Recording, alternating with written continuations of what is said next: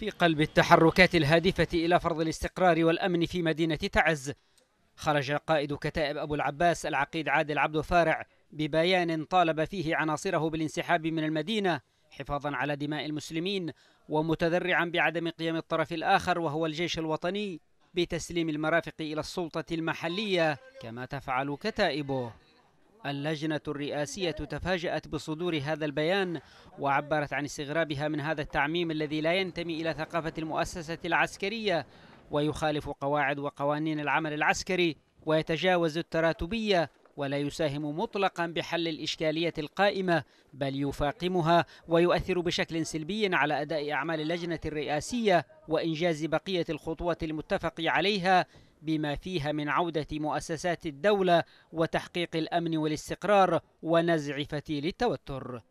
أكثر ما لفت نظر المراقبين أن كل من محافظ محافظة تعز أمين أحمد محمود وقائد المنطقة العسكرية الرابعة اللواء فضل حسن محمد أصدر وبالتزامن تقريبا مع بيان أبي العباس أمرين عملياتيين منفصلين لأبي العباس بالعدول عن قراره الانسحاب من مدينة تعز ويعددان فيهما مناقبه وباعه الطويل هو وكتائبه في محاربة الحوثيين وتحرير تعز ومتعهدين بتأمين الحماية له ولعناصره وعوائلهم في المدينة.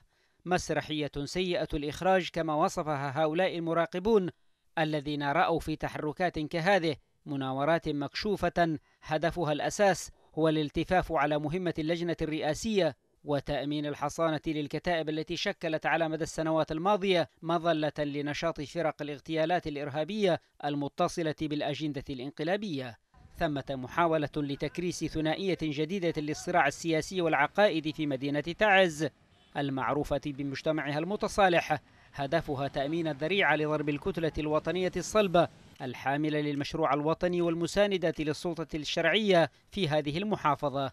هذا ما استنتجه المراقبون من مغزى ربط أبو العباس قراره الانسحاب من تعز بحزب الإصلاح كما لو كانت معركته الأخيرة في هذه المدينة مع الإصلاح وليس مع الجيش الوطني والحملات الأمنية المتتالية على معاقله في المدينة. رد الإصلاح على بيان أبو العباس ببيان مماثل أوضح فيه أنه حزب سياسي مدني يعمل بأدوات سياسية ولا يملك أي ميليشيا أو تشكيلات عسكرية. واصفا ما جاء في بيان أبو العباس بالتهم الكيدية التي تهدف إلى تحوير المعركة من معركة الدولة لفرض الأمن وملاحقة المطلوبين أمنيا إلى صراع بين أطراف. أشكرت كل من ساهم بإعادة الروح لتعز. مهمة التحرير الثاني لتعز نجحت تقريبا فالجيش الوطني أضعف إلى حد كبير الوصاية الأمنية المفروضة من الخارج لكن المحاولات الجديدة لإعادة تموضع كتائب أبي العباس المدعومة إماراتيا قد تجلب معها المزيد من المتاعب التي لا تحتاجها مدينة تعز خلال المرحلة المقبلة.